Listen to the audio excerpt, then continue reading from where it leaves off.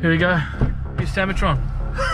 Teammate. you player? You okay? Mate, wow, we're back again. I feel like we have to talk about the trade war because Oh, we just have to. Every time I open the paper, I see yes. Captain Orange in there. He just keeps kicking the Chinese hornet's nest, doesn't he? Don't tell me about China. I know China. now what we've got, Tommy? Trade war. Economic, technological trade war. He's all he's doing is protecting his 2020 election campaign, isn't he? If he can prove he's getting more jobs in America through these tariffs, his belt of voters going to be up and about and loving it. It is a short-sighted view for the country. Uh, he's put uh, the tariffs down, and it's getting deeper every week, isn't it? So Trump essentially just wants jobs back in America for the first time in 30 years. Yeah, that's right. But weirdly, he wants to bring back jobs that are never going to come back. Factory jobs, Factory jobs. Tasks that robots can do. Right. So if you bring back those jobs, you basically can't compete globally. So you might bring back the job, but then your country goes backwards because you can't compete. What we're seeing is the start of all countries around the world nationalising and going back to local manufacturing.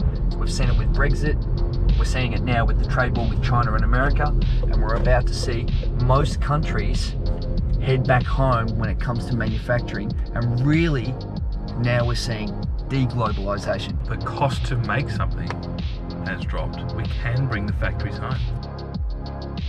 Yeah, so soon, what we'll see is is that, and it's almost as if it's not by design. It's almost like lucky and ironic that with artificial intelligence and robotic manufacturing, the low-cost labor advantage that countries like China had is evaporating. And now with automated manufacturing and efficiency, it can come back home and it will.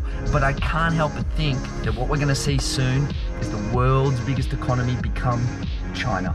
Because in the last 30 or 40 years, they've developed a deep and wide supply chain, especially with robotics and technical manufacturing, which other countries do not have.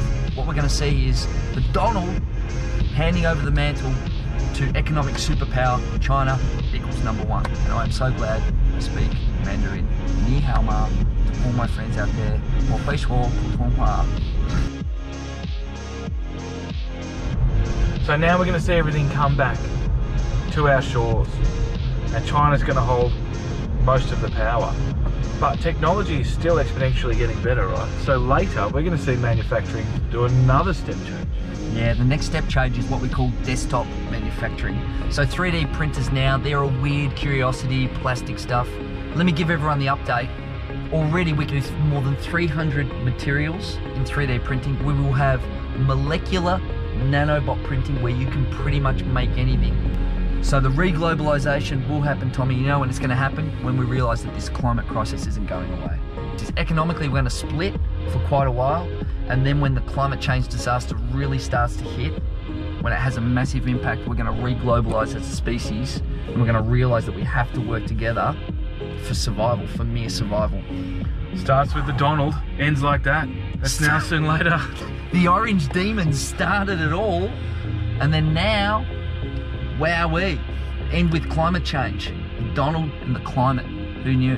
You want more together. now soon later, later, hit subscribe on YouTube. Go to futuresandwich.com. You'll find everything there.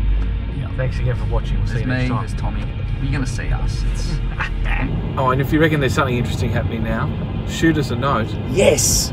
Tommy at futuresandwich.com, Steve at futuresandwich.com, and let us know what you reckon.